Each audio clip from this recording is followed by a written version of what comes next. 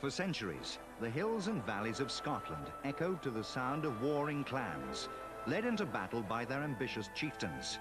Medieval warrior kings like Robert the Bruce, who defeated the English on the battlefield, helped create the fearsome fighting legend of the Scots. And in later years, outlaws like Rob Roy MacGregor added to the colourful tapestry of Scottish folklore. Fortunately, those days of bloody conflict are long gone. But one tradition from the earliest days of Scotland's history has survived through the years virtually unchanged. The Highland Games.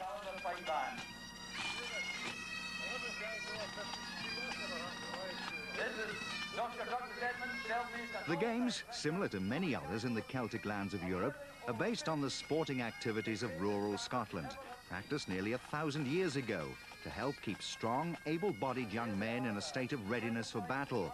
They first became organized into what we'd recognize as today's Highland Games in the 11th century and have hardly changed since.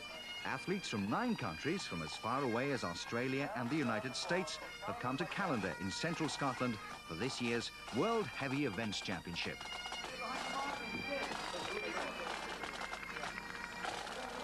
The athletes traditionally compete in kilts. The only problem is finding one big enough to fit their enormous girths.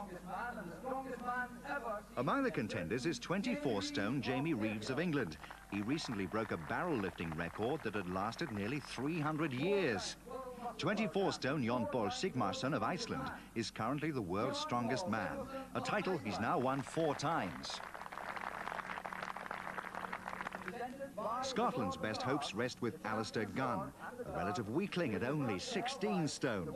The reigning champion is allowed to display the sword and ancient targe or shield, and for the last three years, that honour has been held by 19-stone American Jim McGoldrick.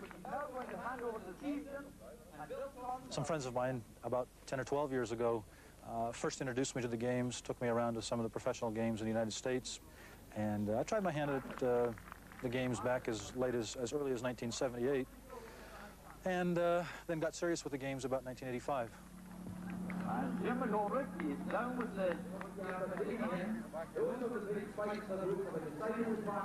Scotland's George Patience leads the way in the 20-pound heavy hammer.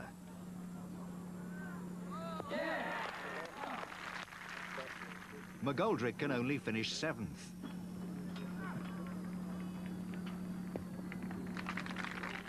In the caber tossing, the showman, Jon Pall Sigmarsson, delights the crowd with some unorthodox footwork. Here, the athletes are using a light caber and tossing it Scandinavian style. The winner is the one who throws it the furthest.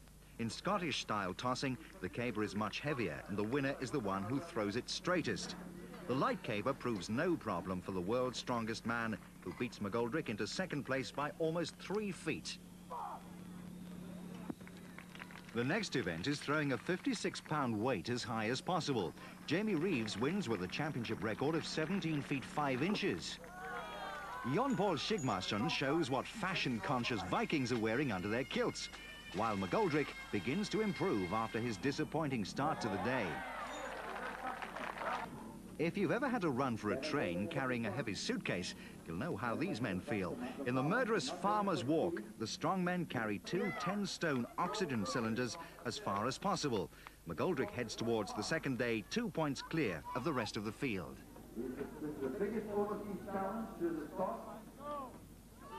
Whereas Scotland's ancient warriors were truly warlike, these modern strongmen are really the best of friends.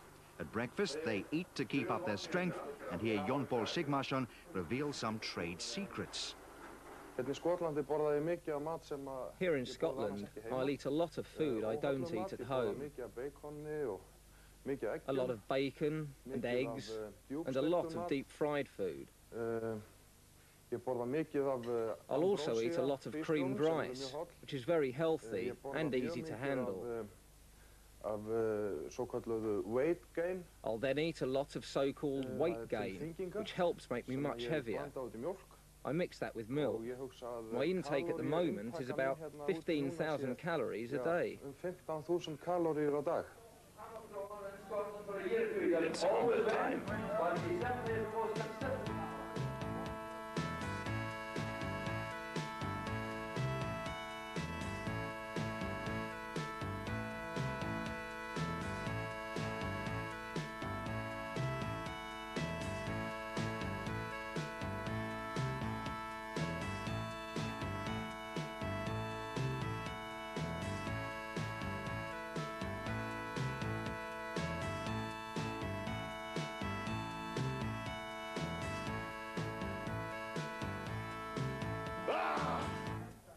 On the second day, Arvydas Svegzda, Lithuania's strongest man, is impressed by what he's seen.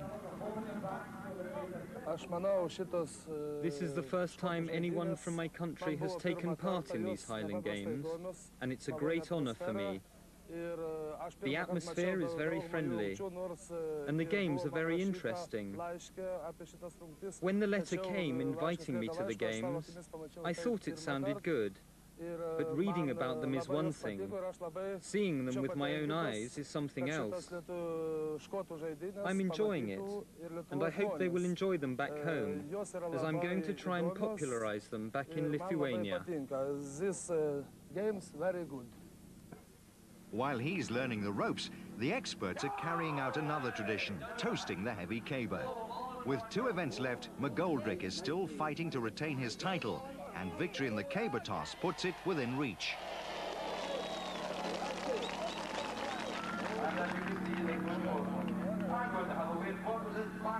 Scotland's Alistair Gunn can still beat him, but this miss in throwing the sheaf proves costly.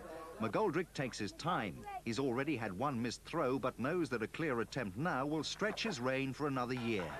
It's close, but this throw clears the bar. Jim McGoldrick, America's modern-day Highland King.